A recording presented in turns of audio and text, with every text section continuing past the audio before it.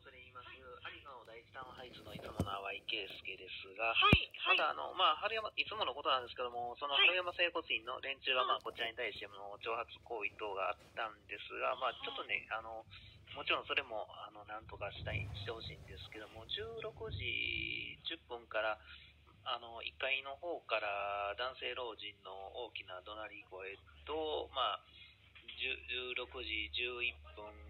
過ぎぐらいにも、えー怒鳴り声等があって、で、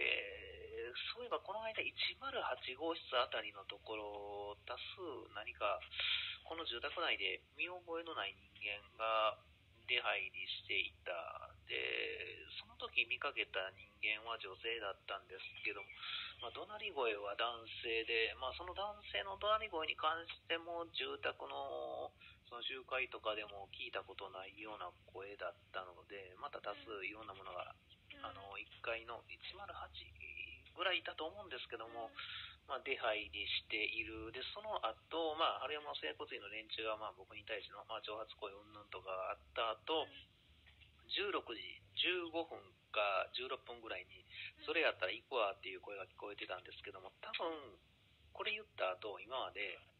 僕の家に不法侵入して何か、えー書類とか誰かが取っていっていませんかというところになるんですけども、もう正直もうわからないですね。あの、例えば、アルマ整骨院のあの集まってくる車、あのこちらが家の中で例えば、えーテレビをつけて娯楽関係のところとかとアクセスしてるとすぐに集まってくる。で、しかも、あのそれが2分ぐらいでね、すぐに来るんで、この辺りにだいぶ、あの潜んでる連中がいるんだと思います。そうとしか思えない。すぐに車が集まってくるから。だからまあ、その辺のところ等も含めて、あの、集会するのやめなさいと。集会の禁止の行政指導も出しといてもらえませんか。わかりました。ははい。よろしくお願いいたします。い、はい。